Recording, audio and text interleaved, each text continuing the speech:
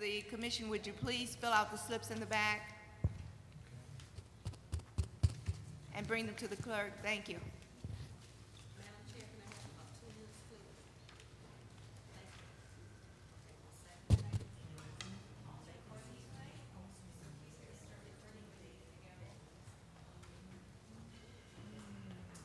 Call to order. Roll call, please. Here. Here. Here. Here. Here. Here.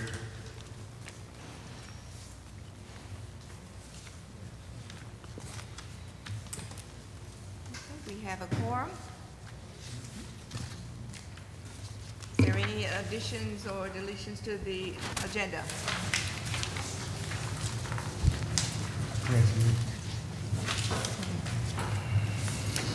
Sorry, I skipped one. All right. Okay. Commissioner uh, Williams, would you lead us in the pledge, please?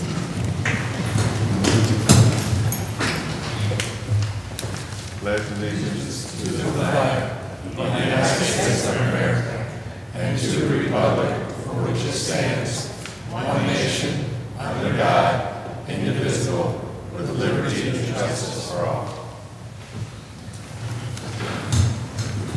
Thank- Thank you. Again, uh, is there any uh, additions, or shall we adopt this agenda? Thank you. We do not have minutes of the previous meeting. At this time, we will have uh, special presentations from um, the mayor, uh, Councilman, Councilwoman Galloway, Chief James Tolbert, and I'm hopeful that uh, President Josh Freeman will be back. But um, I'm, I'd just like to say to uh, the audience that we're grateful to have you here tonight. Um, When we were elected to the position of uh, serving as uh, Charter Review Commissioners, um, one of the things that we all agreed to do was that we wanted input from the community on how this charter should be written. And uh, we especially want input from um, the, uh, the staff of the city, from the planning commission, all the way to the top, to, to- to the mayor's office. We want to get everyone's opinion, but we also will be going out and talking to uh, the public regarding uh, the Charter Re- Review Commission. And you'll hear a little bit later um, information about that when, when the uh, chairperson gives her report regarding the um, Public Outreach Committee. But we're, again, we're grateful to have you here, and um, we're asking that um, each of you would speak for five minutes, and then uh, we will take five minutes to ask questions from the commissioners, okay? And so our first guest tonight is Mayor Dayne Walling. Well, thank you and good evening, Commissioners. The first time I've been able to formally address you. Uh, I I appreciate the invitation to come and uh, provide you some perspective. I I expect that we may have future discussions as well. My door uh, and email are always open to you, um, but I also respect the the process and the charge that you've taken up and and look forward to seeing that uh, move forward. Uh, The city administrator who wasn't able to uh, stay tonight, she did provide you with the uh, strategic plans that we currently have in place. In each of the last two budget years, the council has adopted a vision, mission, and set of uh, goals and budget priorities um, that council and myself agree on like we would any other resolution passed by majority, uh, at least a majority of council members. And then the administration, uh, with our senior department heads, have gone in and created uh, objectives and, and also tasks that you don't see in the spreadsheet. And we're reporting those out to the community, our progress towards those strategic objectives on a quarterly basis. Um, But I think a number of the questions you might have about how city government operates today and which department is responsible for what, uh, you'll be able to see as you review that strategic plan. We have a large and complicated organization, We have an bu- annual budget of about $170 million. In addition to myself as your Chief Executive Officer and the City Administrator, who's the Chief Administrative Officer, we have, we have five lead department heads.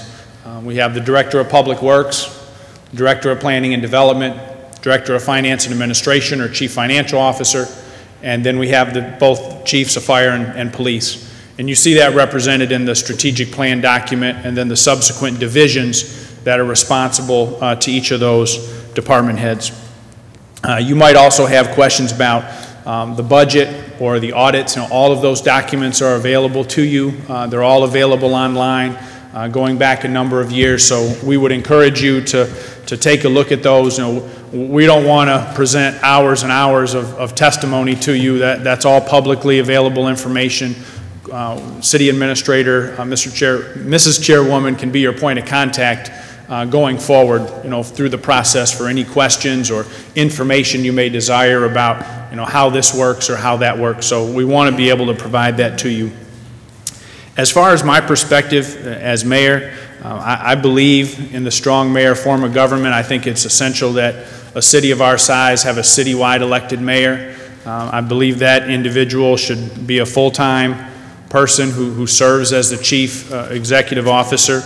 Um, when you look at the rest of our charter, I think there are a number of ways that our organizational structure um, can be better aligned, uh, not only in ordinance, which is where we currently have our department heads delineated in um, alignment with the charter, but I think that could even be further specified, in my view. We're, we're no longer a city of 200,000 people with 15 or 1,800 or 2,000 city staff. We're a streamlined um, organization of about 500 employees. So each of those key departments you know, has a, a a broader portfolio than they may have had in the past. I also uh, believe the public was right in reducing the number of mayoral executive staff appointees. I, I don't believe a mayor of a city this size needs uh, a chief administrative officer and 10 more executive staff, which is what was envisioned in the charter until it was amended. I also think that 10 department heads is too many. Uh, I I think we should have five department heads that are appointed uh, with support of the city council, um, in addition to, to the- to the clerk, which is uh, a separate category under the Home Rule Act. So more alignment, a more streamlined structure that's actually set in charter, not just at the discretion of any particular mayor and council to establish an ordinance. Um, The question of whether a mayor um, should also have a role in voting on council, I, I think is something this body should explore. Um, Mayor George Heartwell, who's, who's finishing um, a long time in that office, in my view, has been very successful, in part because he was also the chair of the city council and was able to uh, organize an agenda and be more directly involved. I, I don't, I wouldn't say that I have a, a strong personal opinion on that, but I think it's something worth looking at. It's something that had a great deal of attention during the Blue Ribbon Committee's deliberations. A majority of that body, I think, did favor um, a more unified um, group of elected officials who operated together through a council. Um, But I think there's other, there's other options there, even within um, the process of having a citywide elected mayor like they do, like they do in Grand Rapids.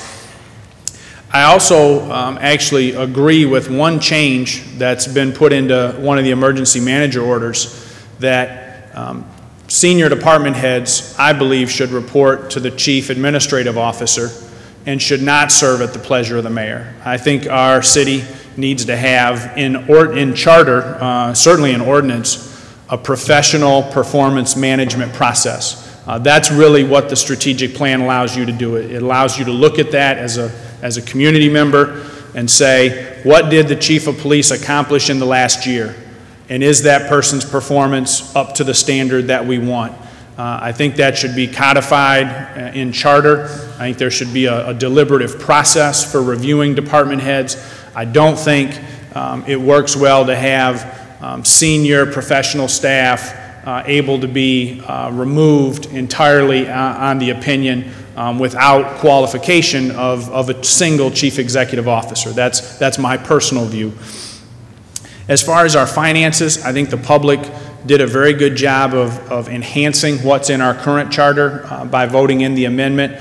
I think in this day and age, the charter needs more than the two sentences that it had on the budget um, before it was amended. I think it needs to be crystal clear that we need you know, multi-year budgets, multi-year forecasts, a strategic plan, and it all needs to be in conformance with the adopted master plan. I think all that needs to be part of that performance management system. With the planning uh, content that's in the cha- uh, the charter, in my view, I think it's, it's very good. Uh, We just need to follow through on it. You know, We know we had a challenge on that in the past with not adopting the master plan, but I, I don't think it was because the language in the charter was inadequate. I think it was a, a lack of follow-through, uh, even to the point of, you know, not being in compliance with state law on that point.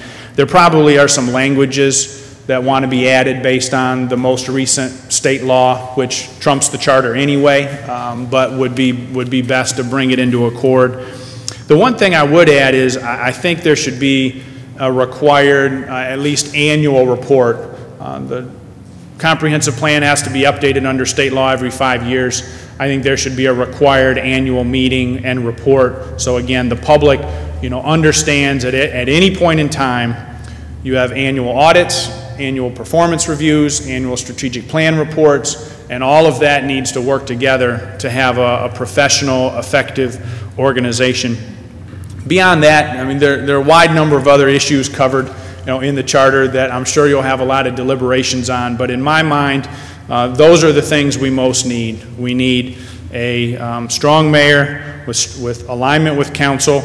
We need to have an overall, and a management framework that's transparent and professional and streamlined.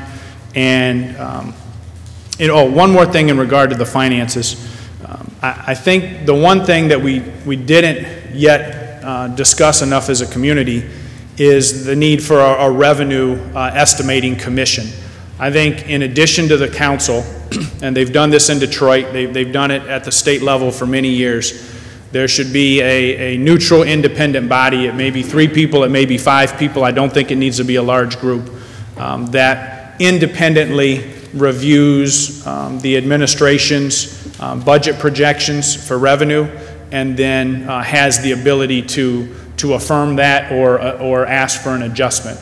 Uh, it's, it's vitally important that uh, even a a mayor and a council aren't solely responsible for setting revenue levels. It's very complicated to predict. The city has dozens of different revenue sources. Um, Those of us on council and in my position may have more or less financial or economic background, uh, but it's important, I think, that there be an independent body. It may involve a U of M Flint economist, it could involve a business person, or a resident. Um, I think there should be an independent commission that's uh, involved in the budgeting process that actually affirms that revenue estimate so that we're, we're truly on the same page in that regard. So beyond that, I'd be happy to answer a few questions. I apologize for taking a few extra minutes, but I did want to let you know the things that were most on my mind in, in terms of the charter. Commissioners, questions? I think the only thing we kind of want to know right now is our budget and how do we get to it? And who do we go to? Who's our uh, liaison person, more or less, to the administration as a whole? Yeah, yeah. And, and, um, Ms. Chairwoman, I, I've also asked our, our city administrator to, to reach out to you, um, as, um, the city administrator performs, you know, that duty for all of our departments. Uh, ultimately, I think it'd be appropriate that, uh, she be your primary point of contact and, um, look at, um, the bigger budgeting process. You, you've been working through the clerk's office as appropriate for more of what I'd call the day-to-day questions. But when it comes to setting the budget, amending the budget, adding new revenue, seeking new revenue, you know, that action is not, you know, for any one department head to take.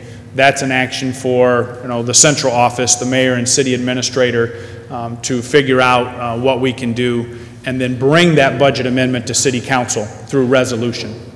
So if you'd use the city administrator as your point of contact there, I think, you know, we recognize that this body needs resources. We want you to have a robust community engagement process.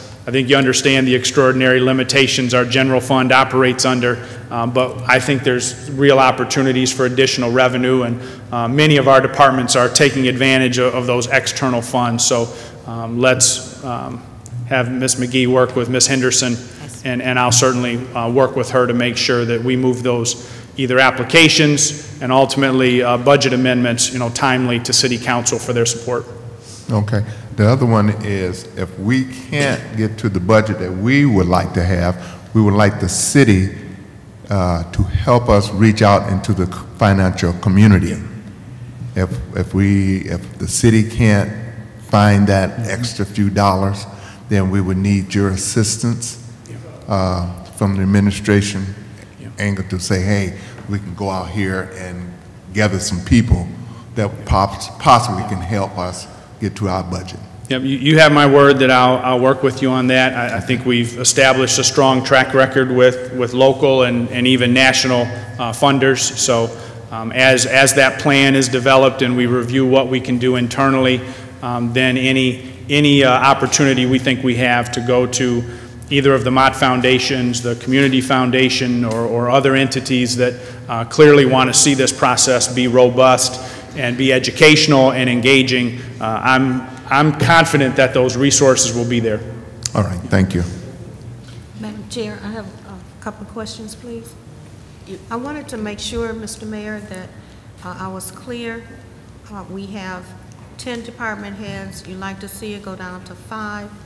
Um, Are those department heads in the future, would you like to see those persons appointed by the mayor's office or city council? Yeah, my, my thought has been that those would appropriately be um, recommended by the mayor to council for approval. So, and that would be the same for the city administrator, that you would have um, your city administrator and your five lead department heads uh, would all require the approval of city council. The division um, managers would then be a responsibility, you know, of, of the city administrator and the department heads, as opposed to individually bringing a uh, Department of Community and Economic Di- Director to the council. Community Development and Housing would be a division manager that would be an appointed uh, exempt position. That's, that's what I would propose. The other question that I had is on finances. If uh, this new committee for uh, reviewing the revenue of the city is formed, they do a projection and review the budget, and they're asking for an adjustment of raising funds to meet the budget or deleting funds from the budget, how do you think that would look as written in the charter? I haven't studied it to that level. Uh, I think we could look at the language in, in the Detroit Charter as one option. Um, And once that commission's set up, then there's questions about, you know, are they setting you know, revenues, you know, once a year? And, and then uh, city council is, is managing amendments and how that process works. So I think that, that bears, you know, more, more inquiry. But the general point is that we know that's been a challenge in our community, and however good one finance director is, or one city administrator, or mayor, or uh, council finance chairperson, that uh, an independent, you know, board, I think would add a lot of um, confidence to the public if that were in place. So if this independent uh, finance committee is set up, they would be, the finance department head then would not be on that board That's, if they're independent? Yeah, th- that would be a question. I I think, you- I think you'd want the, the chief financial officer to, um, you know, be required to attend, um, you know, that commission. Um, It may be that they present information, um, just like in the current charter, the mayor's required to present the budget to the city council. You could have the chief financial officer present a revenue projection, you know, by February 1st, and then the commission would have a set period of time to actually establish that, that revenue baseline. My last question, Mr. Mayor. Uh, Some people feel that there is a disconnect between department heads and city council. in the new charter, do you think that language should be given that department heads are required to attend and report monthly to the city char, to the city council, so that they are kept abreast of what's going on in their departments, particularly looking in lieu of the water situation? Maybe or maybe not, that may have been caught earlier. Do you think that's something that should be placed in the charter? Know, I'm not, I'm not in the legislative body. Um, I would, I would think it's more wise to leave council's committee structure to its, its membership. Um, it- It's evolved in the six years that I've been here. Um, Finance Committee has always been there. We now actually do have standing committees that match our senior department heads. So there's a monthly public safety meeting, a monthly planning and development meeting, a monthly public works meeting, monthly finance administration meeting, and then a committee of the whole. But I'm not sure that I'd want to fix that in, in counts, in charter. Our, our council members can probably weigh in better on that, if they would prefer it just be fixed, or if there's some value in having, having flexibility. I do think, as far as reporting goes and, and sharing information, it may be that that doesn't have to tie directly to committee structure, but it should tie to the strategic plan and performance management and the benchmarks that are required in that process. I, I, some of you have heard me say before that, you know, I, I don't think we need um, two and three pages of content on a civil service commission, given how state and federal law has evolved to protect public employees. But I do think it'd be appropriate to actually have two or three pages of content on the master plan, strategic plan, performance management, quarterly reports, and how all that is, is made uh, public to the community. And that may be a place where um, water quality reports can be required. I mean, we're releasing those now on a monthly basis, which is more than required under the Safe Drinking Water Act. Uh, it may be that the community wants to continue to see that happen. I think that would be appropriate. So you could consider, you know, what needs to be reported out annually, quarterly, monthly, and how all that's made available, not only to council members, but actually to the entire, you know, community at large. I think having more transparency, more documentation, uh, the strategic plan is taking us in that direction, but we don't have that level of required detail. And, and this commission, I think, should give some thought to, you know, how much we want to require and, and the value of that. There's a trade-off as an administration of the time it takes to prepare it. But whatever the community believes it needs to know, you know, we should be providing on a consistent and regular basis. Thank you, Madam Chair. Jerry? Um, Couple of questions. First, uh, I thought I heard you say that you, that the department head should report to the uh, chief administrative officer as opposed to the chief executive officer. Was, was that correct? And if so, could you explain that a little bit? Yeah, in, in the, in the sense that th- there's very little guidance on that in the current charter except to say that they serve at the pleasure of the mayor. And I think every department head should serve um, the adopted budget, strategic plan, and comprehensive plan, and that performance management system should be the primary responsibility of the chief administrative officer, the, the city administrator. But you think the uh, chief executive officer should still be the appointing authority? Yes, and I think that uh, the the CEO, the mayor, should also be um, required to bring removal action, you know, to the city council. So that you you effectively would need a a mayor and a city council to both appoint and remove. Under the current charter, council, now this is not true under emergency manager orders, but under current charter, council approves a police chief, but then a mayor can just decide, you know, we're going in a different direction and remove that person without even required consultation with city council.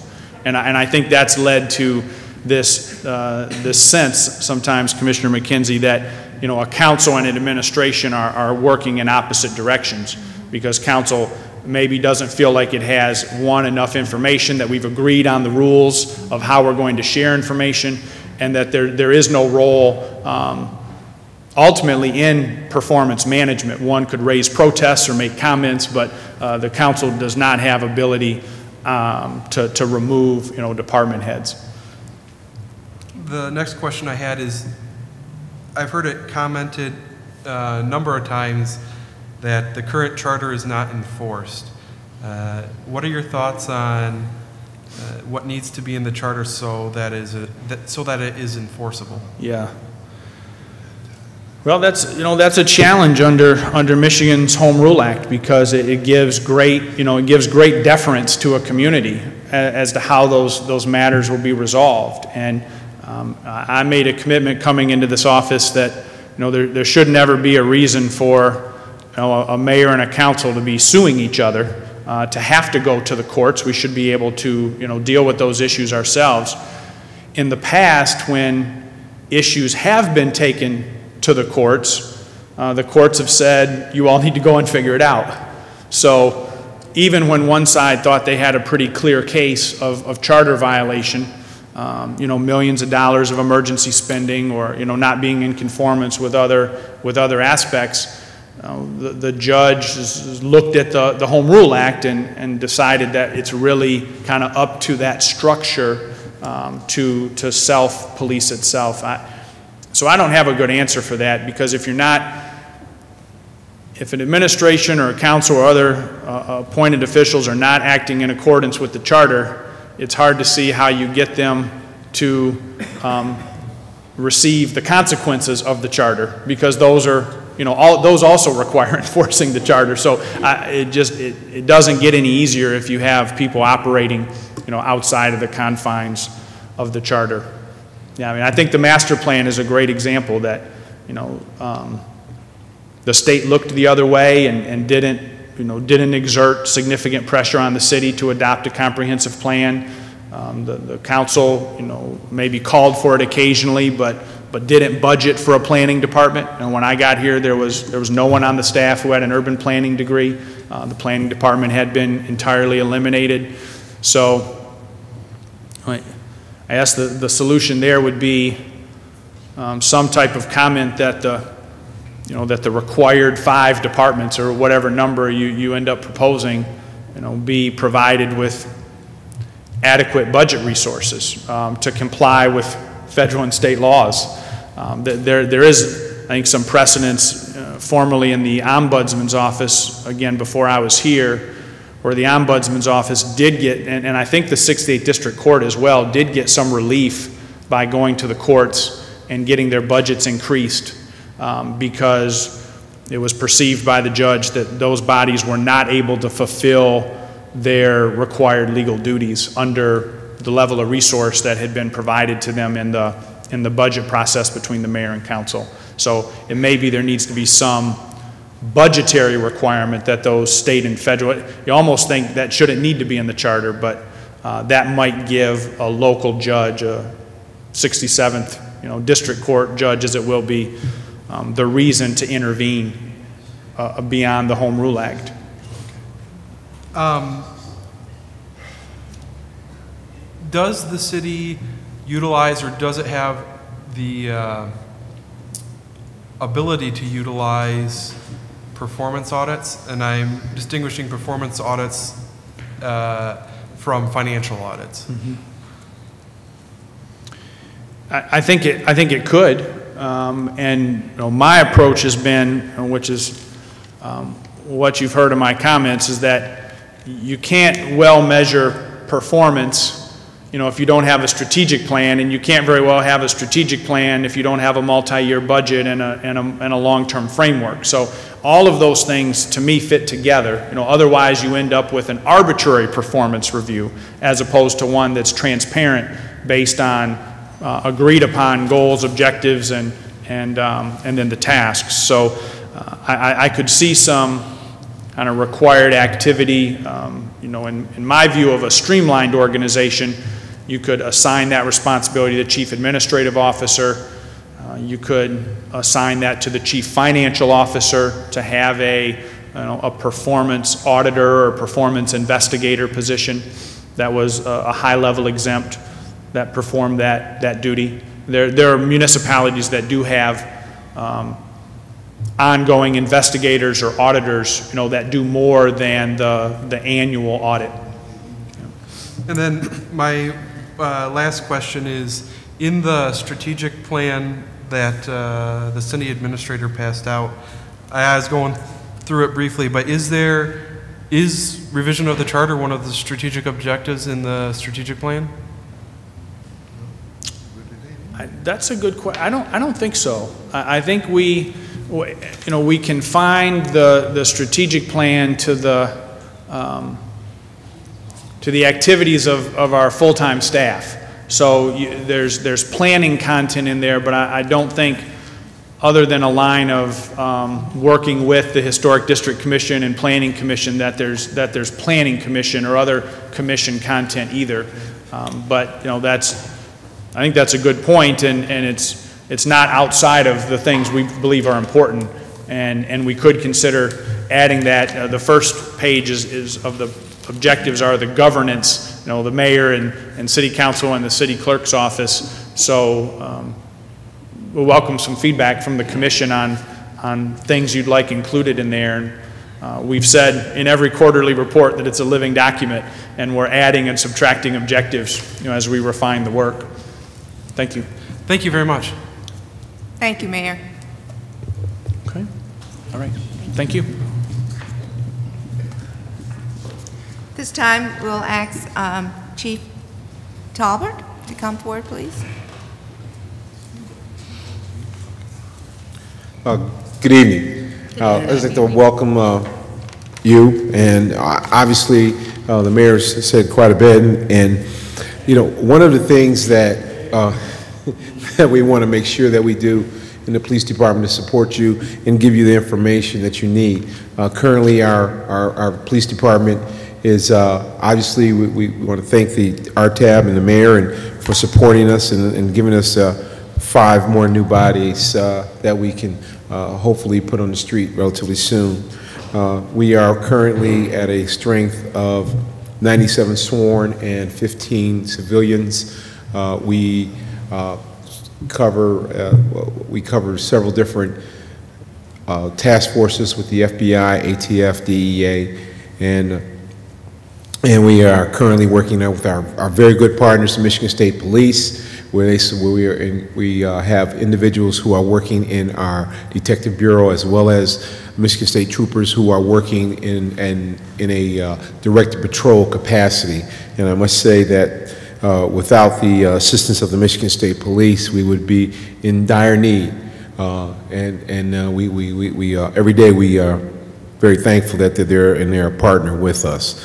As we move forward, we, we want to look at ways that we can use technology to enhance what we do. The main thing that we want to do is sustainability and how we look at technology to uh, address crime issues and how we can look at legislative issues such as ordinances that will help us to maintain a, uh, uh, the ability to address crime issues as they emerge. Uh, We know we cannot arrest our way out of this, so we have to use the community and move forward. And I look forward to uh, having a uh, a relationship with the, with the uh, commission, and, and and as we move forward, whatever I can do to assist you, uh, feel free to call. Thank you. Any Quest- questions? Questions for the chief? Just one quick question. Um, The size of our city, we had 97 sworn, 15 civilian. What would you, would like to have? Well, I can tell you that the, uh, we had a, we had a report done by the ICMA, and the ICMA, uh, they recommended a number of 216 officers. Two what? 216 For this size of right for the size of our city. So we're, we're not even, Yeah, That's correct.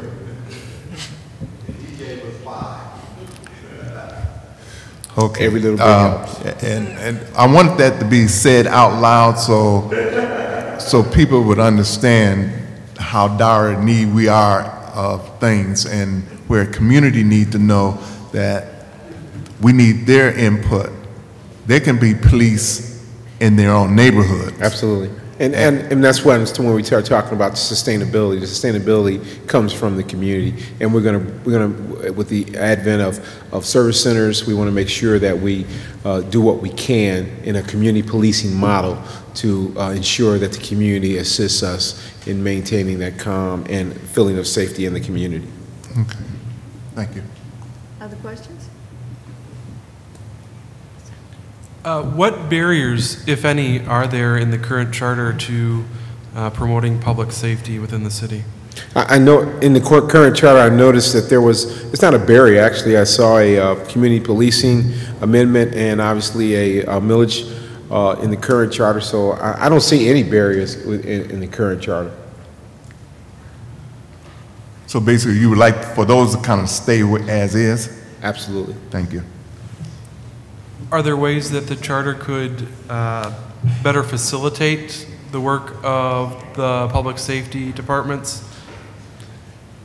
And again, I would work with the, with, with with the commission. Uh, I, I think if we talk about some, um, maybe possibly a minimum uh, staffing or, or, or a thresholds that would, uh, that would, could, uh, would assist us as, as we look to ensure that we have adequate manpower, that might be something the commission might want to look at.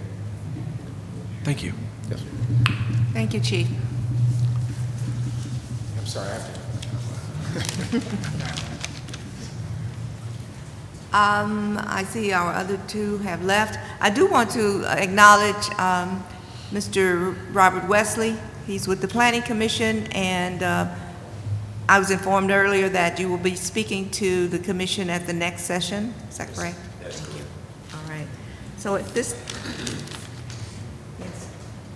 Any other questions? Okay. At this time, we will move, sorry.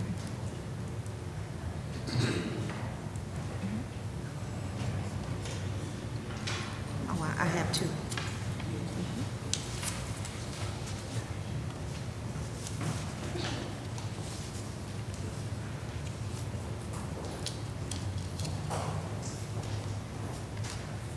There are other speaker slips, I believe, that we haven't received. Uh, While we're waiting for her to bring those, any discussion regarding the um, presentations from the commissioners? Uh, I would just like to acknowledge and thank the speakers who came before uh, the commission today, and we will continue to follow up with other city staffs and elected officials and reach out to uh, other members and have uh, those folks hopefully join us at our next meeting. Thank you. The staff and uh, the mayor and planning commission were invited to two of our sessions, and so hopefully um, we'll have more at the next session on the 23rd. Thank you. 27.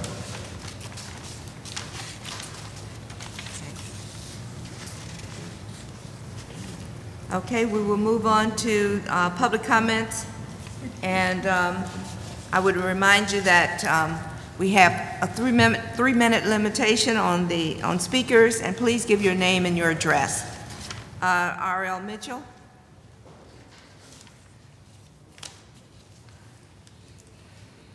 My name is R.L. Mitchell. My address is 759 East Linden Street on the north side of the city.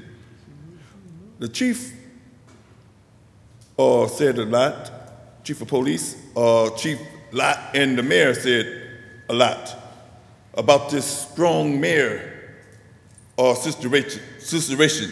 Like he, he, in my generation, I always came up under a strong mayor. Like, for instance, Mayor Stanley was the first strong mayor up until now that started this so-called situation what we got now. But he happened to step down on his own before we, the people, put him out and went up in Lansing, well, where the governor always turned their head when they see something happen in Flint because they know Rick Rose up there represent us. And that's, anybody can figure out what's, why the city is going up in an uproar because, as you can see, the financial management, this mayor gave her permission to walk out while up under your callings. And then he walked out too, right now, while, and the city clerk is not here and all that stuff. And, and, the, and the beat goes on and about hiring uh, retired five policemen. Barry asked a good question. And he laughed, but and then he he chuckled, but uh the po the po the money we got is it's just like uh you can grandfather that money in to take care take care of the city, but uh and he says 97% we can police ourselves. But that's just like the second off. Under the police state, you give them so many warnings, three warnings like they jumping on the land and put the peoples in the street like like nobody can figure it out. Okay, And, thank you. and the man from Detroit and all these killings and stuff. And Thank I got my three Thank minutes you, almost up, but I'm gonna just stop Mr. right there. Don't go Thank on. you. Our next speaker is AC Dumas.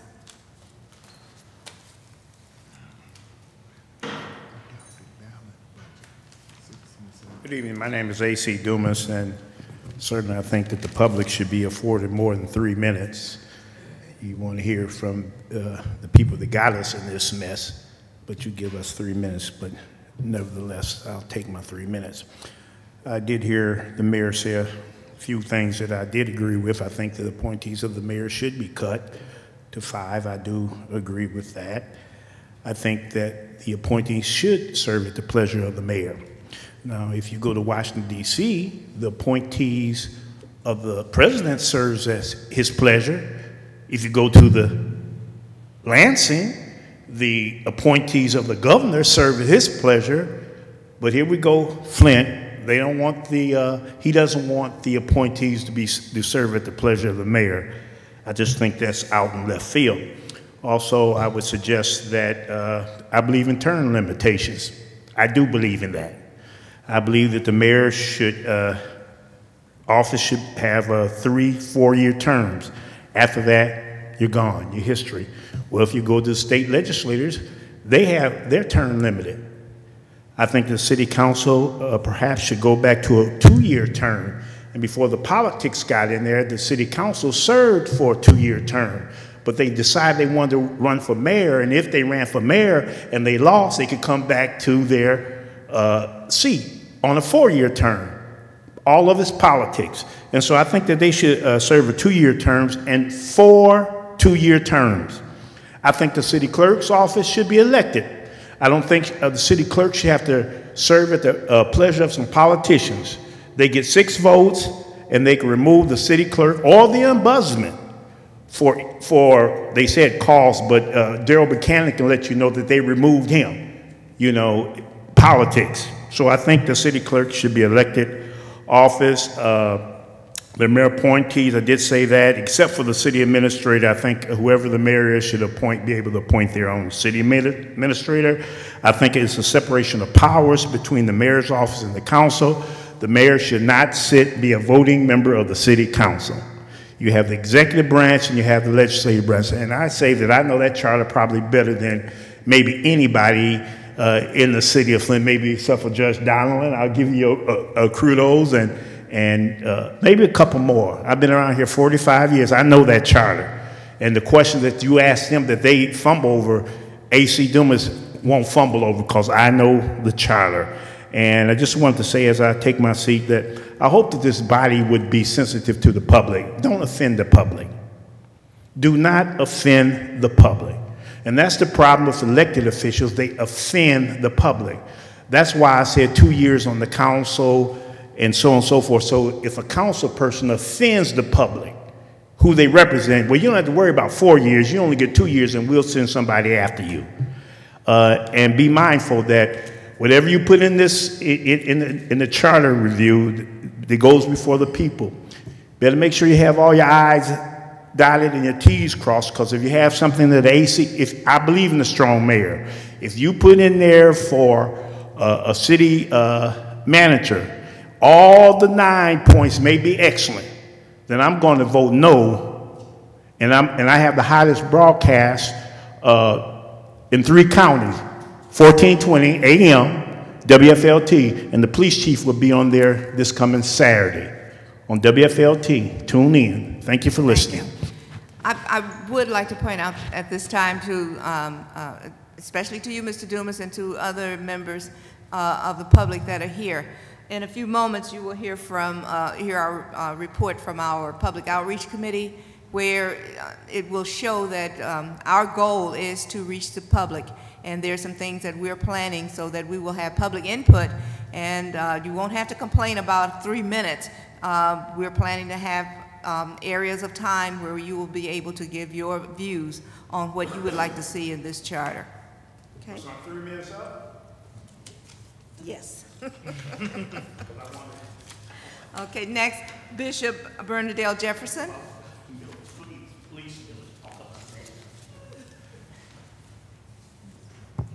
Good evening. I'm Bishop Bernadette Jefferson, a member of the community. And my first and foremost complaint was that if this meeting was disposed of with you having the, uh, the heads of the department, the community needed to hear it as well as you, so that we as a community can work together to bring a charter about that will be for this community because I heard it said earlier that we're not using the, the charter. Why? If, it can't work if you don't use it. That's the first thing. And if we're gonna revise something, revise it where it will work. And so we need something that will apply to the entire community, not just one segment of the community, not just one branch of the community, but we need to know as community what each department head is doing and why they, um, we look at, we're short. We don't even have half the staff of the officers that we need out there working in the field. Um, as a community member, I've worked diligently in order to work with the police, to work with the sheriff, whatever uh, branch comes, even uh, uh, state police. I've worked with them in order to make this a better place to live in. When we have complaints, and many times when they can't complain to the police, they complain to the pastors. And I am a pastor in the community, a very active pastor in the community. And so they complain to the pastors, and we reach out trying to console and try to bring comfort and try to bring solutions. And so therefore, we need to work together. And if we don't know what's going on when they're having meetings, when they're having uh, availability so we can get an understanding, get knowledge about what's going on in our community, then we need to be here. This is a poor appetite for a meet and greet and for the community to be here. This, I am a member of the community, but I don't represent the whole community. I couldn't dare do it. And so the, the, I heard she said, uh, Ms. Cleo, that, uh, public relations, we have to have a way to reach the public. If we want the public to be involved, we have to have a way to reach the public. We had a millage for the policemen. We don't know what happened to that. There's so many misappropriations of the finances that come into our city that is supposed to be for the betterment, for the change, for the enhancement of our city. And so many times, it's just, we don't know what happened to it, or we had to use it for this, or we had to use it for that. If you ride around this city right now, and I know, I know that they're saying it's the public safety, but they putting lights in the middle of a block. Not, uh, on Corona Road, there's a light in the middle of the block where a railroad track was, and nobody's crossing. So what is the purpose of it? What is, what is the, I- it has to make sense what they're doing with our money instead of saying we spent it on public safety or we sent, spent it to help the community. If you're going to help, do something that's going to help and make a difference. Thank you. Thank you. Mr. Lathan Jefferson?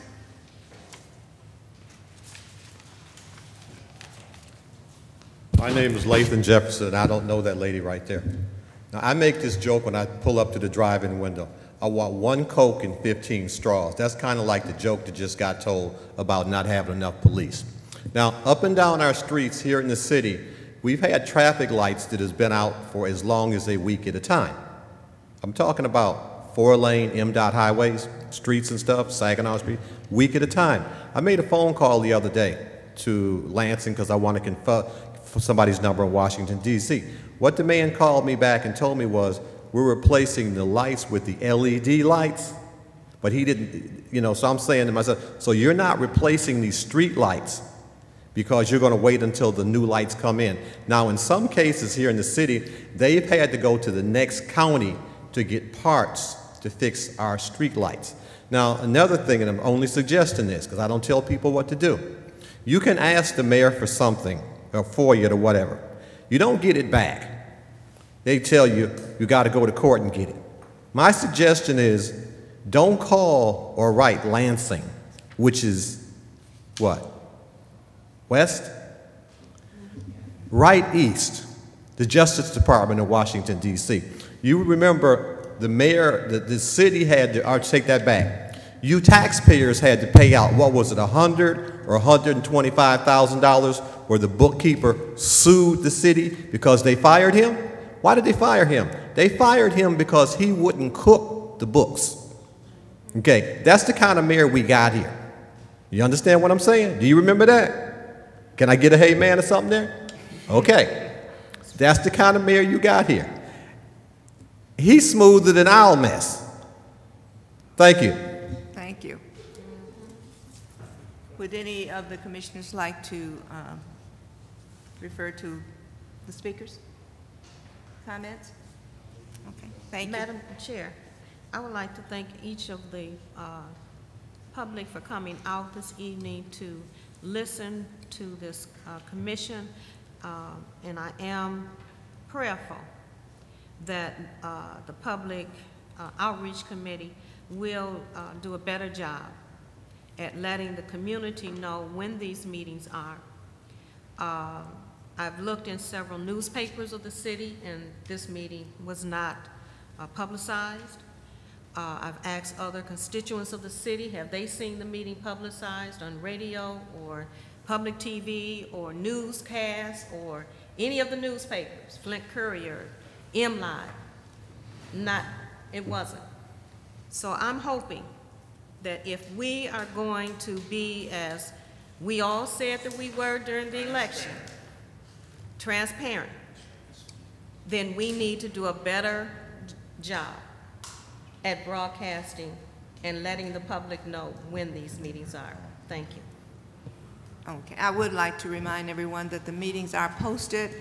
However, this particular meeting, this special pres, the special presentations by city staff and um, when the planning commission comes and um, if the council members are here, this meeting was not planned to be a public forum. This meeting was planned so that the commissioners could receive information, could ask questions of the city staff, the mayor, and the council, and the commission on how their roles are played in, the, in city government, so that we could get a better understanding of their roles and what their roles are, and that so that we could ask them questions. It was not a, for a public forum. That that we will have a public forum. It will come later. But this was specifically for the commissioners to seek information from city staff, from the planning commission, from the council. And that, the same thing with the next meeting that's coming up uh, in, in the next uh, two weeks, 27. 27, okay. So it, it wasn't planned for a, a a community forum. It was planned specifically for this body to receive information regarding city staff, the different departments of the city, how they're run, what is the city uh, administrators and uh, city department heads, what are their roles? What is the council's role? What is the mayor's role? That was the purpose of this. It wasn't for a public forum for the community. We are going to do public forums for the community, believe me. We have those in, in plan at this time. Okay? Thank you.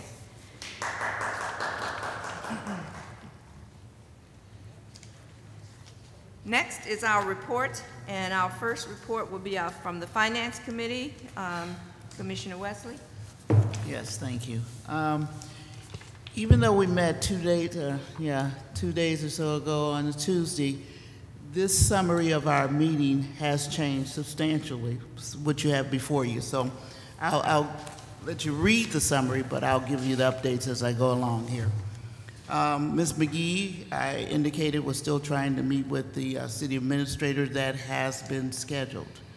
It's real soon, like tomorrow. Okay. Uh, I contacted Mr. McClendon, and at the time I contacted him, he is the Labor and Human Resources person. I was uh, looking for assistance as needed uh, for an administrative assistant to serve the uh, Charter Review Commission. Uh, We thought at the time, though, we could get services from AmeriCorps, and uh, I understand that has changed. So he has called back and gave me a contact person, uh, which we'd be working with, so that will be transpiring soon also. Um, Ms. Inez Brown, the city clerk, was contacted in reference to how do we uh, uh, provide for payment for services rendered to the Charter Commu- Charter Review Commission? And how do we uh, pay for purchases uh, of, of things needed for conducting business? And so she had informed me that, uh, like the consultants we'll be meeting with on tomorrow with the, from the Michigan uh, Municipal League, they are paid pursuant to an invoice, uh, deducted from our budget, of course, and that as of yet, she has yet to receive a card, but purchases and materials needed to, for events and workshops uh, that may not amount to uh, large dollars will be, per- will be paid for at point of purchase, POS, point of purchase. Uh, She has not received that card yet, but that will happen. Uh, New business we discussed was uh, solicitation of funds to do the work of the Charter Review Commission. So we tossed around a few ideas. Uh, We had felt at this meeting we'd get more information from our city leaders and try to um, encourage them to be cheerleaders for us and speak to the department heads and make them aware of the work we're trying to do and ask for their input and support, possibly in writing grants uh, to solicit funds. Um, Heidi Phaneuf, our public outreach person, had also su- sele- uh, suggested the United Way has provided uh, executive support on loan to the city. Maybe we can tap into that. We needed to check into that. And also, um, Mr. Mays, our uh, council person, was at our meeting. He had suggested that we search or seek community input as far as there may be persons in the community that would provide in-kind services to the council, to the commission. So those are things that we had suggested and tossed around at the meeting to be further explored. Uh, Also, media involvement. We talked about that, getting them more involved, making them aware of our meetings, maybe uh, press releases of upcoming events, such as the uh, September 26th event, to make the community aware of what we're, uh, what's coming up. So along with what uh, the chairperson has stated to the public out there about our uh, community outreach, we are going to have a kickoff. And once that happens, you'll, you'll be hearing more. Certainly, we haven't uh, uh, lost track of the community. We can't lose track because you ultimately will get the last word. Thank you.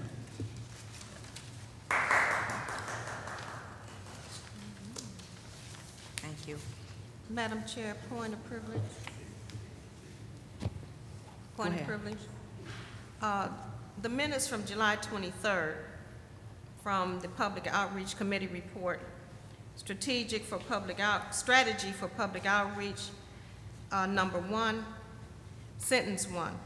Invite all the City of Flint department heads and elected officials to come to a committee of the whole charter commission meeting to share with the commission and the public, and the public, information about their department, its relations to the city charter, and thoughts they have on the current functionality of the charter with relation to their department. I don't mean to be a descendant, Madam Chair, but the public were invited according and to the we- minutes. That is why the, each of our meetings are posted. We do not ever wish to uh, ignore the public, but it was not our desire at this time to do a large public outreach, because that is coming. And so that is why we did not go beyond our regular postings for this meeting.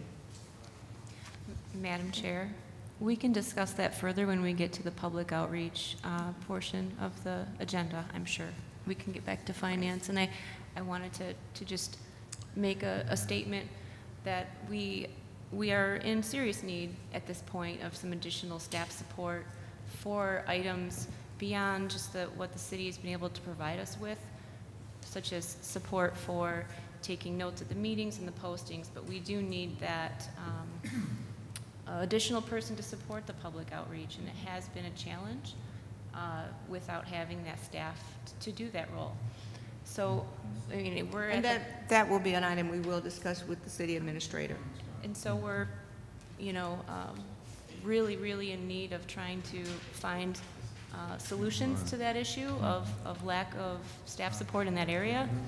So I'm hopeful that over the, the course of the next few weeks, maybe before we meet again uh, in two weeks, we're able to have a good idea of our path forward with getting some, some financial support, be it reaching out to these uh, other community partners, the United Way, or colleges, or local uh, foundations through a grant request. Um, So I, I will continue to work with uh, the uh, Finance Committee and, and try and help feed information to the group to help make that happen. Right. Madam Chair, Thank you. there's, there's something everyone's missing. These are open meetings. Right. You, the public is always invited. We don't have to send you out an invitation every meeting. But when the forum comes, the forum, we're gonna be out there beating the bushes, trying to get you to come to the Pacific meetings that will probably be in the wards and the community. Let the public understand, you are always invited when the nine is assembled here. We don't have to keep asking you. You are welcome to come and even have a three-minute session. Mm-hmm. So that has to be understood. Can we get a motion to adopt the, uh, So approve, moved. rather, the Finance Committee report? So moved. Support? Roll call, please.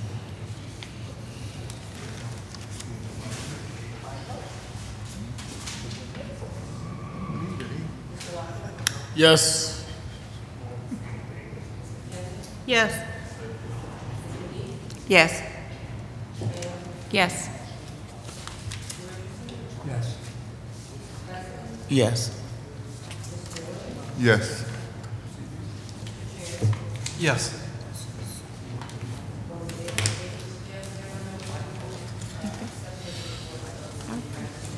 Finance Committee report is approved.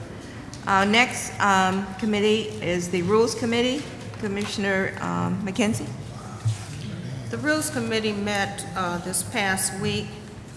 Um, We were supposed to, um, everyone was supposed to have read the rules that we presented last week for, and bring questions today.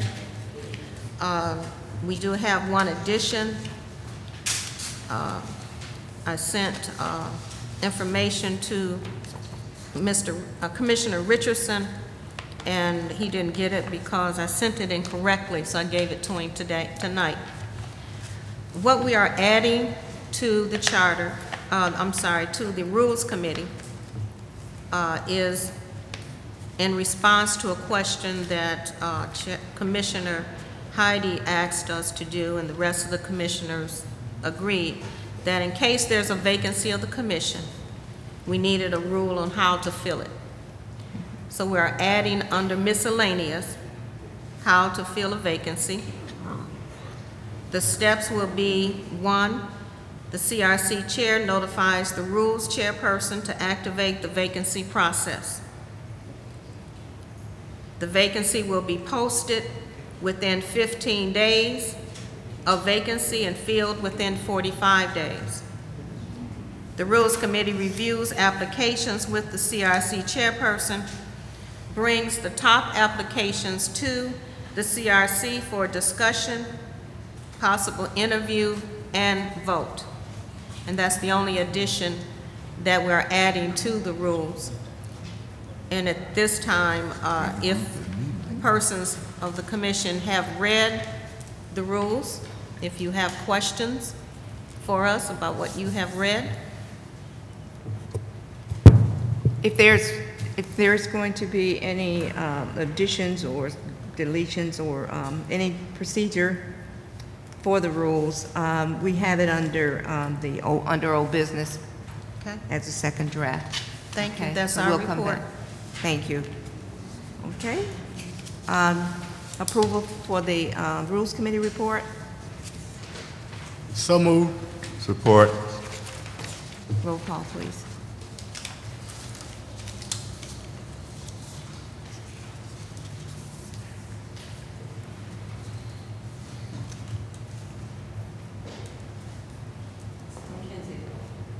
Yes. Yes. Yes. Yes. Yes. Yes. Yes. Yes. Yes.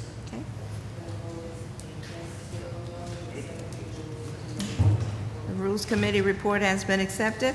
Next is the Public Outreach Committee. Commissioner Phaneuf. Thank you, Madam Chair. Uh, Everyone has a handout with the Public Outreach Committee report, and I uh, set set a couple out there, um, passed them out to some folks who were uh, attending today as well. Uh, There's a lot to go through here. I'm going to try and abbreviate as much as I possibly can. For a few months, we've been working on getting some clerical-related things squared away, our website, uh, email services, business cards, and letterhead. So I had a meeting with the clerk's office and Jason Lorenz, who's our public information officer of the city of Flint, and we uh, talked about the website updates. Uh, Janelle from the clerk's office is going to be supporting the website updates. Hopefully Davina can get some training on that too, and it'd be great to have two people in the department able to help in that role. Uh, Right now, Janelle's out this week and will be coming back next week, and I'll be having to basically sit down with her and, and really dig into how it's going to be set up. There'll probably be a, a few hours of us working together. So I'm hopeful that by the time we meet again, we'll have a website page up and running on the City of Flint's page. Additionally, um, the RTAB, Transition Advisory Board, is going to be reviewing a request by the IT department for additional expenditures that will allow us to have an email through the City of Flint. Um, So that should be coming up this week, uh, or at the next RTAB meeting this month. Uh, And so after that point, we'll be able to get our letterhead, our business cards, and so you'll see a lot of these um, tools that we need for public outreach will be available to us. We do have our Facebook page, and you can go out and you can like our, our Facebook page. And um, commissioners, if there's anyone else uh, who'd like to help support as an admin for the page, we could always use a few more people willing to make posts. Um, We do have video recordings of the Charter Commission meetings, and uh, Paul Herring is here tonight, videotaping with Spectacle Productions. Uh, We do have attached to the report a copy of the video production service agreement that he's um, presented us. Uh, The tapings will be at a fee of $100 per meeting. Uh, Once a meeting goes over uh, two hours, it would be additional $50 per hour. There are some more um, things around making the the tapes or the, I'm sorry, digital copies available. So Paul and I are going to talk about how we're going to get the material out onto YouTube. It'll be great because then we can put that on our Facebook page and also link it on the city's website, and people will be able to go home and at their leisure go back through these, these meetings and, and hear some of the great things that have been shared with us today. So I'm not asking for approval of the agreement at this time because I, I do believe there's one more piece we need to iron out about the availability of the digital copies. Um, But it's here for your review. Madam, Madam Chair, uh, uh, one part in there is about the, after the first two hours, is it? Then the second part is fifty dollars Per hour? per, per hour? Yes. Well, if our meeting goes over two hours, then we have to pay them, or can we just shut it down at two hours? I think we should handle that on a case-by-case basis. There may be some really important discussion that we're, we're in the middle of. I think we should try and limit ourselves to two hours, just for the sake of the, the public. These aren't comfy chairs. Uh, these are, but those aren't. But, you know, we should try and do what we can do, but let's, let's kind of leave that to our discretion. Right. I don't, I don't think we should shut it down. I, I think, as an example, if we're in the, in the, in the uh, next meeting, or even in this meeting, if we go over two hours, because one of the things we'll be going over, possibly, is the rules, and we definitely want that information contained. I don't think we should shut any, shut anything down. It's, it's not an awful lot of expense. Um, So I think we should, I think we'll be okay. I don't think we'll have a lot of meetings that will go over two hours. Thank you. So our advisory committee, and this is uh, something that I think there's some really uh, great folks in the audience today that I would hope would be interested in being part of. We're going to uh, create a charter review advisory committee. It'll be made up of citizens of Flint and people who are interested in being part of the charter review process and giving their feedback. We're going to be meeting on a monthly basis, and we decided, uh, just for you know scheduling sake, to set these meetings to begin October 1st, and they'll be the first Thursday of every month. We'd like to rotate the locations throughout the city of Flint, and I want to reach out to some of the folks who uh, ran for this office but did not, uh, were not voted in, to help uh, chair the first meeting.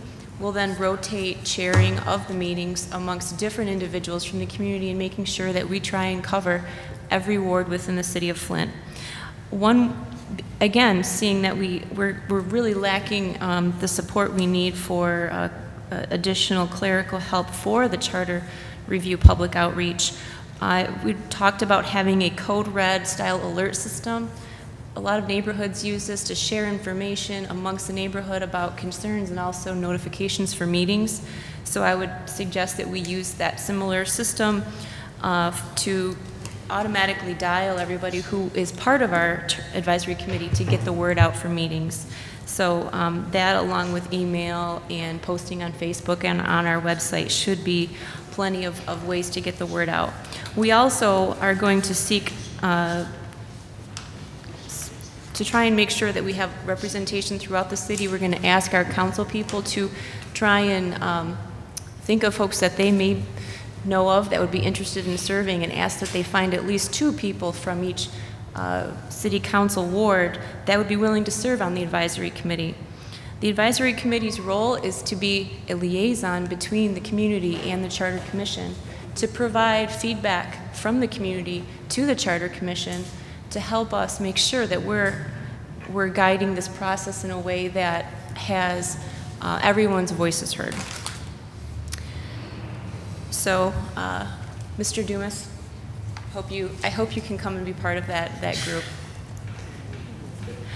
Uh, additionally, I wanted to talk about clerical support. So Ameri- AmeriCorps is not going to work for us. Um, we we did try and go that route. It would have been great if if that was an opportunity we could take advantage of because the financial um, needs are low and the support is is really great.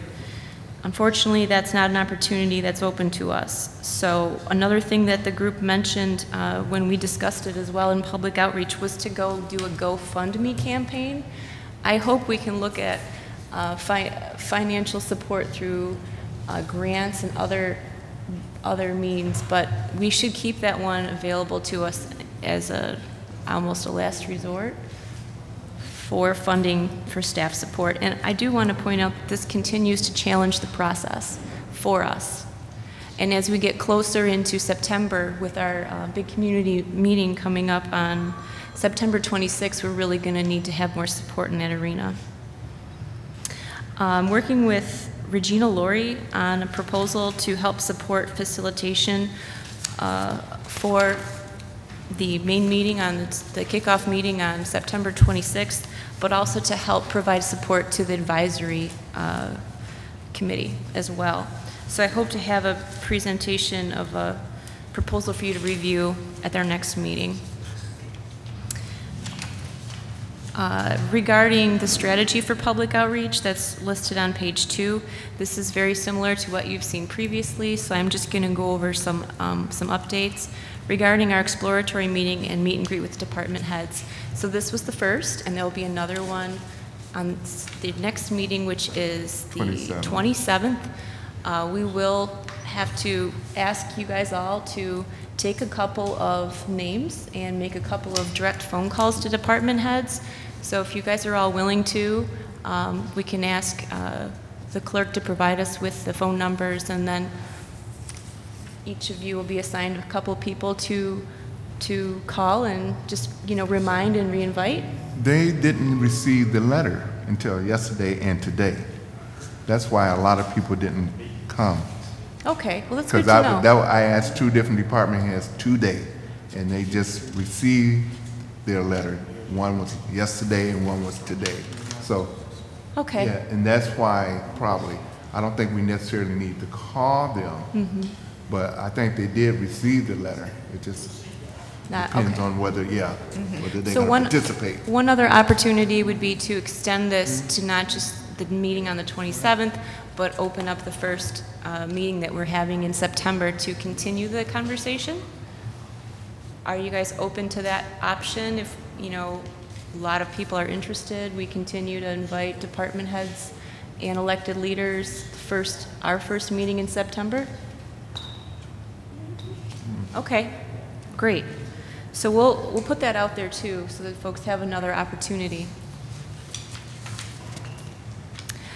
Um, One of the challenges along with this is that we, we don't have a policy or a process for contacting the media yet.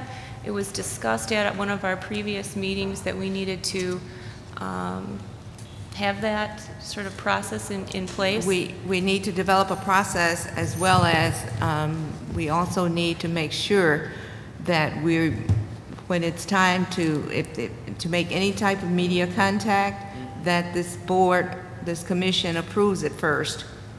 Okay? We need to make sure we're doing that and not arbitrarily just, you know, sending things out or getting with the media because um, um, we need to, the board, the full commission needs to know what's going on. So we need to be careful uh, regarding uh, putting information out there or speaking to the media. Madam Chair, uh, where should that be discussed? Should that be discussed in the Rules Committee? Should it be something that we The Rules Committee, there? it, Should it there be- it should be discussed in the Rules Committee as part of our um, rules to work by. But at the same time, the, this commission as a whole needs to know when uh, there's information going out, and uh, it needs to be approved. So that may also be why you don't see the media here today, because I did not contact them, as I was not given permission to by this board. Um, So that is something that we need to, we need to talk about. Uh, I'd like to, I guess, bring that to rules, and we'll talk about that at our next meeting. Commissioner McKenzie, would that be okay with you? All right, great. Uh, So we're also going to invite the 74 Charter Commission members. I've asked uh, our clerk, Inez Brown, to give us the list of... We- we have the to- list. We have a list? We have Yes. names? Do we have, okay. We have a list with names and uh, addresses and addresses? phone numbers. Excellent, okay, great. Well, we'll invite them t- to the next two opportunities, the first one in September and the one on the 27th, and see uh, who we can get to come. That one was for the two meetings in September. Yes, for the two meetings in September. Thank you. Okay. Under data gathering, finding out kind of how the charter is currently being used and in what way. Uh, David Roth from the legal office, and I uh, talked a little bit about that, and he's going to provide us with this information section by section as we go along through the process. So um, we'd like you to get started on looking at Article 1. Okay. Great, thank you. We have a kickoff meeting scheduled um, for September 26th, and that's a, a place where we want the whole community to come together, and we'll be giving a presentation on what this charter process is going to look like, how, you know, we envision things to start to come together as a group, and also try and work on creating a shared vision of government. What kind of government do we want to have in the city? Um, So that's going to be at the Michigan Rooms at the University of Michigan Saturday from 10 a.m. to noon. The space seats about 200 people, so we'll have plenty of uh, room to uh, accommodate a large group. And we'll be, our Public Outreach Committee will be spending a lot of time focusing on that uh, for the next, the next meeting. And we definitely need our finance for that at that time, so we can get the necessary ingredients for that event. And then we have our calendar, and it- there hasn't been any uh, major changes, other than I extended organizing, staffing, develop budget, seek funds, develop review process and outreach methods another month, because we're in August and we're still doing those things. And that is, of course, a proposed timeline, and it can change as we need it to change. We set our regular schedule of meetings for the remainder of the year. We'll be meeting on the first and third Wednesdays of the month at 5:30 PM here at City Hall. First and third.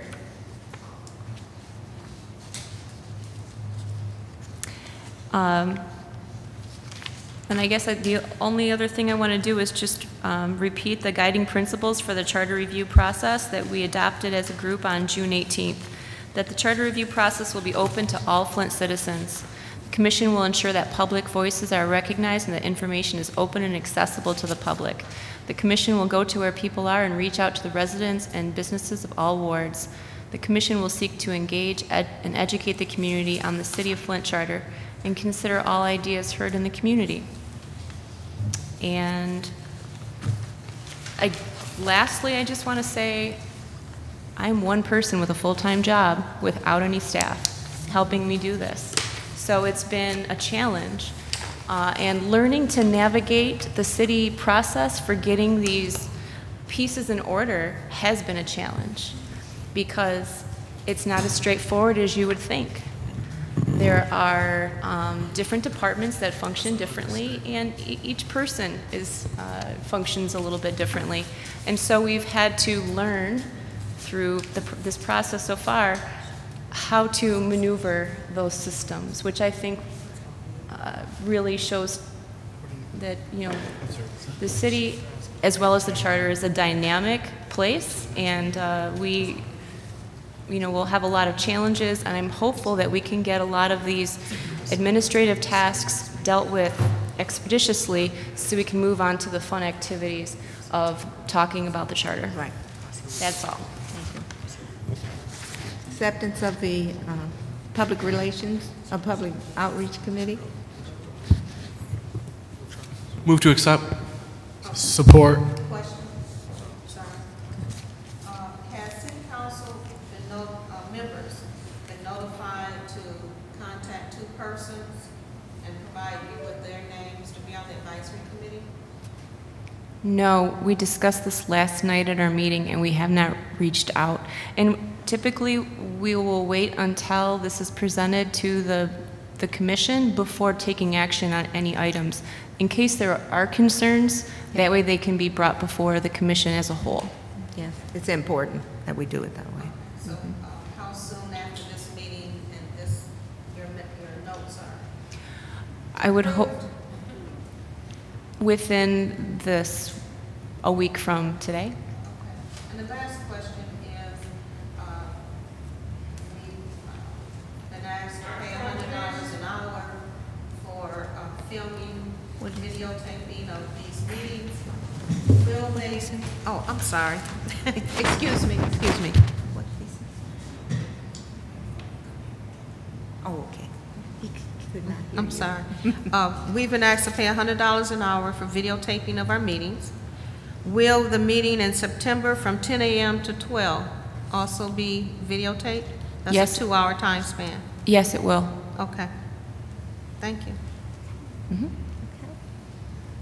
Roll call, please.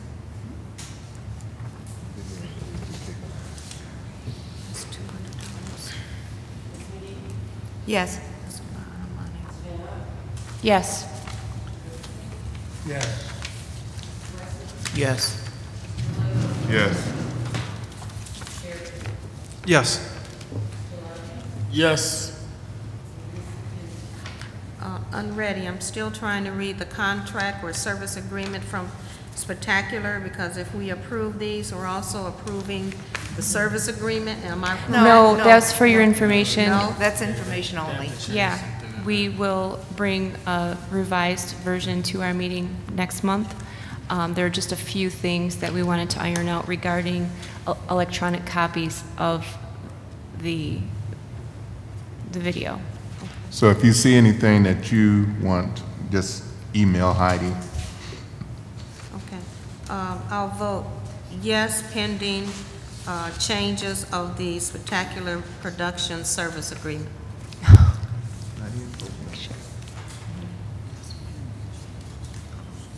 Well, it may not be changes, it, it- It's- it we're would not be voting on that, discussion. We're period. not, we're not uh, Okay. voting on the, on the um, agreement. Okay. Thank you.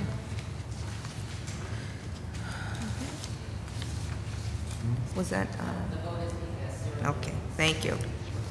Okay, the uh, Public Outreach Committee uh, report is accepted. We'll move on to old business. Uh, Potential presentations to the commission. Uh, Commissioner uh, McKenzie, have you, has there been any contact with the mayor of? uh, I have talked with uh, Mayor Waterman's administrative assistant. Uh, She does remember the um, um, misprint of telephone contact. She said she's going to contact the mayor and call me back. Um, I was in uh, Pontiac yesterday, and she was out of the city, so I'm still trying to contact her to see if she's coming or not. But her administrative assistant said, yes, she does remember. Okay, And she'll thank you. talk to the mayor again. All righty, thank you. Now, the 1974 Charter Review Commission members, that has already been uh, discussed, that they will be um, informed to uh, attend the two meetings in September. Min- Michigan Municipal League Training, Commissioner Cherry. Nine to five tomorrow. In here. Uh, the committee room. Is it- It's open to the public as well, if anybody, any in the public wanted to Is it attend. five or four? I believe it's nine to five. Nine to five. All right. Um, Commissioner McKenzie, um, are we ready to go uh, to um, take a look at the draft, or should we postpone it to, for the next meeting? I was Since, just- because I, I have not, I don't think, I don't know, if, has anybody else had a chance to go over anything? S- So my suggestion is that while we don't vote on it, there might be a few things that we want to cover. Okay? Yeah, there are um, some ar- areas that we had talked about uh, at the last meeting in terms of changes that we wanted to include within, uh, within the charter. And um, I want to review those with everybody. Microphone. Yes? Push it. Oh, okay. The first one that um, we wanted to um, make an addition in- into the rules is uh, regarding rule number three, uh, offices of the commission. So if you happen to have it with you, uh, let me refer you to it. Uh, The issue that we had was um, um, if the uh, commission goes beyond one year, uh, beyond May 28th, 20 of 2016, um, and the terms for the officers are are only for one year, how do we replace them? So we have some language uh, specifically about that. Um, I'm going to read it, and I'm also going to send it out to everybody, so you have a chance to, to look it over in, in some detail in front of you, but, but let me just quickly go over it. Uh, On or about May 28 of each year, that the Charter Commission is in session, an election will be held to determine the officers of the commission to serve uh, at the next one, uh, the next one-year term. The sitting officer shall remain eligible for the office of chairperson and vice chairperson. The election will be conducted in the following manner. Each commissioner will vote for an individual commissioner or chair, uh, each, indi- an individual commissioner to be chairperson. The city clerk shall tally and record the vote. The commissioners receiving a majority of votes will be elected as chairperson. Repeated rounds of voting on a rotating basis will continue until one commissioner receives a vote of a majority of the commissioners. Once the commission is selected, the commission will hold an election for vice chairperson. The election of the vice chairperson will be conducted at this, in the same manner as the election of the chairperson. I think that's pretty straightforward, pretty, pretty simple, uh, simple process. I think it's used by city council and by, and by others as well. The second one that we had discussion about had to do with um, Rule 48, having to do with readings of papers. So we had a discussion about um, what was meant by that, and um, after some uh, discussion with Mr. Roth, um, we came up with the following proposed language for this piece. It would be like Rule 48.1 or 49. We have to work with that a little bit. When the reading of written reports, correspondence, memorandums, or other documents related to the Charter Commission's business is called for, and an objection is raised to, to, to such reading, the Commission, by a majority vote of commissioners present and voting, shall determine without debate whether or not uh, it shall be read. Intent of this is for us to be able to receive memorandums, um, reports, correspondences that may come in. Some of those may be routine in nature. They don't need, all of the commissioners may be able to read them and receive them. It may not necessary for us to take the time to have someone read each one of those. So uh, a commissioner could say, uh, I move that we do not read this, that, and without debate, if it's supported, the majority can say, you can just receive it without reading it. But if most people want to hear it, well, it'll be read, okay? The second one has to do with uh, the issue around abstaining from a vote, which we had some discussion about.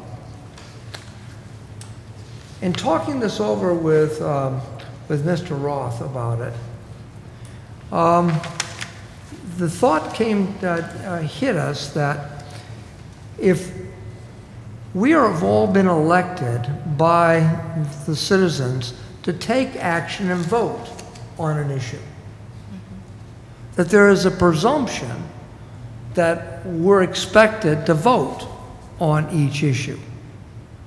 So what we're suggesting is the following kind of rule. Presumption that the commissioners will vote. Where at, where, whenever the commission shall hold a vote, all commissioners shall be required to vote. It is presumed that all commissioners shall vote on every matter before the commission unless the commissioner has a conflict of interest precluding their vote, as set forth in Rule 21. Now, Does it state any place where that conflict of interest must be, Rule 21, okay. and it's in Rule 21. So this would be added to Rule 21? No, this would be a separate rule. Okay. You know, This would be Rule 52, uh, 53, something like that, under miscellaneous. David, did I get all those right? Yes. So we're, um, and I believe that the Rules Committee, I wasn't at the meeting, but I understand the Rules Committee supported these changes without, as they, as presented. Did I get that right? Yes, that and the addition, the addition that uh, Right. Commissioner McKenzie said about the vacancies. So we'll, add- we'll do some uh, development of language for uh, replacement of commissioners. So the next, at the next meeting, then, it will still be the second draft. Is that correct? Could you repeat that? At the next meeting, it will then still be the second draft? Or will it be the vote? Yeah. So is the question that it will, I mean, we're, is the question whether we'll vote at the next meeting? right, but no, Will it be the second? will it be the second draft? Because this- Presumably. this was the second draft, well, it Oh, should have been yes. tonight, but we, Yes. we- we've only gone over those points, not the entire uh, document, so it'll still be the second draft. Is that correct? Correct. Okay. Though we're also asking from commissioners tonight, have you got anything else you want to change? Does this discussion with media need to be a rule, or is that something that could be an informal discussion that comes through in a, I, I'm asking if you feel it needs to be added as a rule or a I think that could policy be a policy statement? of the, uh, We can put it I under think that should be a policy of the commission. So could it be a, so you- the Rules Committee can create policies that aren't rules, right? We can put it up under miscellaneous. I would, uh, My preference would be that it be a policy. So it would not be part of this document, but a Yeah. separate document? Yeah, be a separate policy, Okay. Ha- operational policy. Yes. Do we have other policies? Not So yet. what, so are Not we yet. setting, are Well, we setting a well, precedence? How do we want to, uh, are we, do we I- now I- need to create a policy document? I, I think the way that we might handle that is to, if we want it in a doc, document that's separate from uh, the rules, we could put a rule in there saying that the commission shall set a policy on how to contact the media, and then we can write our policy. Great. Also, I wanted to make sure that the commission understood what the terminology of conflict of interest meant in the last rule from abstaining from a vote. Does everyone understand what that means? Everyone I- understands what conflict of interest means? Do you want to read it? I can read it. Would you please? Uh, Rule 21, conflict of interest. A commissioner who has a direct interest in any matter before the commission shall disclose his or her interest prior to the commission taking any action with respect to the matter. The disclosure shall become a part of the record of the commissioner's official proceedings, and the commissioner with a conflict of interest shall abstain from voting if the commissioner's proceedings related to the matter. Okay?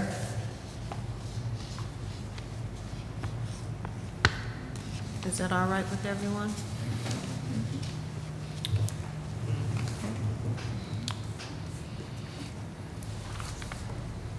All right. Madam Chair, that's the end of our Okay. old business. And we'll present draft two at the next meeting. Draft two. Do- Do I assume then that uh, everybody's pretty happy with what we got?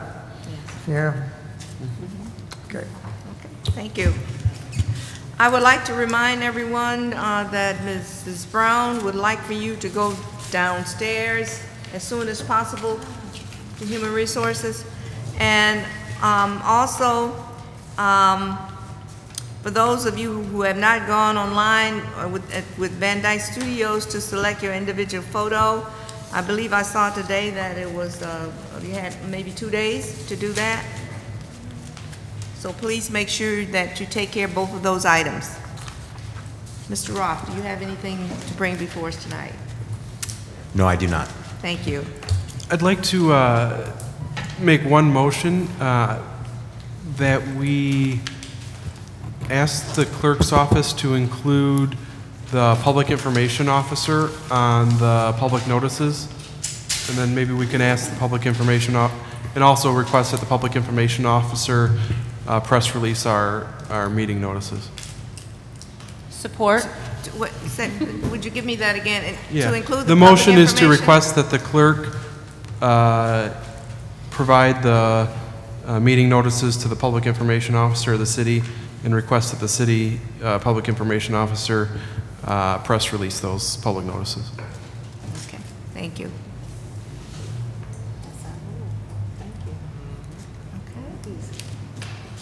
Anything else from commissioners?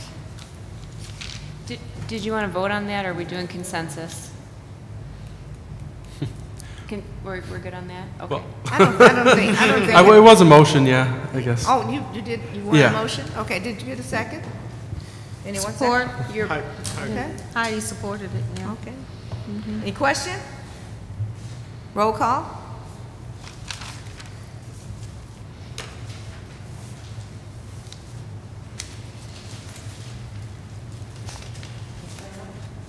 Yes. Yes. Yes.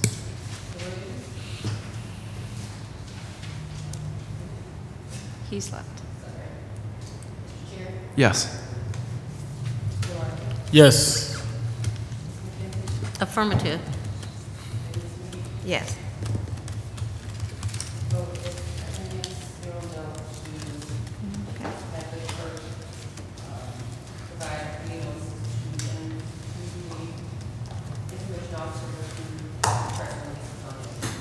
Motion has passed.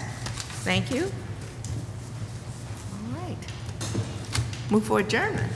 I have Oh, one one, question. one item first. Remember, tomorrow, 9 AM, everyone please be on time. Thank you. I have And one we will last- have lunch. Yeah, one last question. Uh, The statement that was just made to contact the um, public information officer to broadcast our, our meetings through the media, could that also be the rule for contacting the media from the Rules Committee? Would everyone, I'm not understanding. Say it again. okay, we just passed that the pub, the um, information officer contact the media for us regarding our meetings. Can it also be our rule for media contact? Or does the commission want something different? Well, I think we might want to, um, Turn your mic off. sorry. I think we might want to, uh, um, allow commissioners to, someone on the commission to have, to be the spokesperson for the commission. It might be difficult for the public information officer to give statements on our behalf because, and he can't be at all of our meetings, No, so. I didn't mean statements. Oh, To okay. do the media broadcasting for us. Could that be part I see what you're of that Oh. rule, of that particular rule? Because that will, that's what we were asked to do, develop something where a me, the media would be contacted in regards to our meetings.